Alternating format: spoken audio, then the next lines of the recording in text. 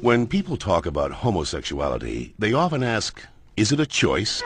I heard it is. Hello, what's your name? Christian. Well, Christian, let's see what the latest science has to say. Oh, that. To help us, here are two gay people, George and Martha. Before we can answer, is it a choice, we must first determine what it means to be gay. How do you know you're a homosexual? The same way you know that you're straight.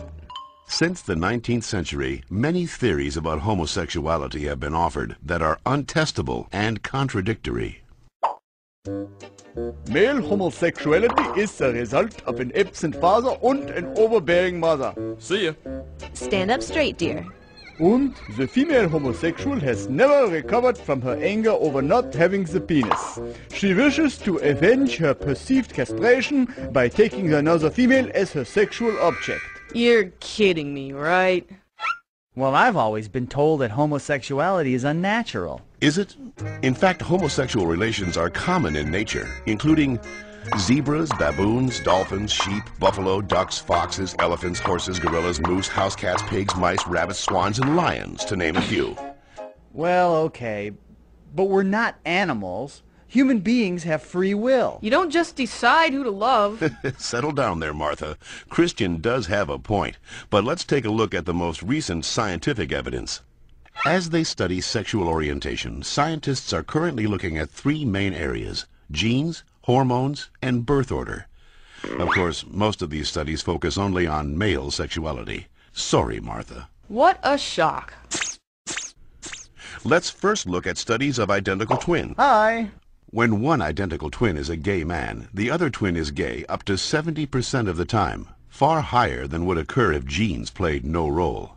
In fact, these studies show that genes play a greater role in determining sexual orientation than they do in whether or not you're right or left-handed. And we don't punish the left-handed. Well, not anymore. Let's get it! Scientists have recently noticed a striking statistical phenomenon. Studies show that having older brothers increases the odds of a boy being homosexual. Moms always baby the youngest, making them gay. No, that's not it. When a woman is pregnant with a boy, scientists are realizing that her female body often sees the male fetus as a foreign object and begins to produce antibodies against it. The more boys a woman has, the more adept her body becomes at feminizing the fetus, which may explain why with every successive boy, the odds that he will be gay go up significantly. All right, maybe you all accept it, but what about those people who started out gay and say they became straight by discovering God? What about ex-gay ministries? Even so-called ex-gay ministries don't claim to change a person's inner sexual desires, just his or her sexual conduct. We're still gay. If these places really work, why don't they all use the same technique? Why does each ministry experiment its own way? Well, And why have so many members and leaders recanted earlier claims that they were changed? maybe these programs don't work for everyone, but what's the harm? How about the feelings of shame and guilt they instill and reinforce in their victims? Or the money, energy, and time they sap from people who have nothing wrong with them? Says you. well, in point of fact, not just George says that, Christian.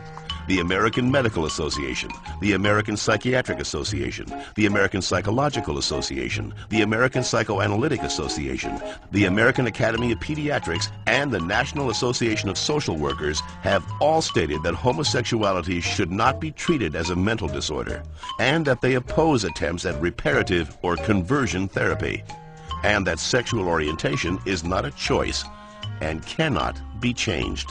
So that's it. I'm supposed to believe that it's not a choice just because all those doctors and scientists say so? Or you could just ask us. I do know this one girl named Heather who goes back and forth, but she's Shut a... up. The information in this educational cartoon is based upon studies that can be found in any university library, with the possible exception of the Bob Jones University in South Carolina.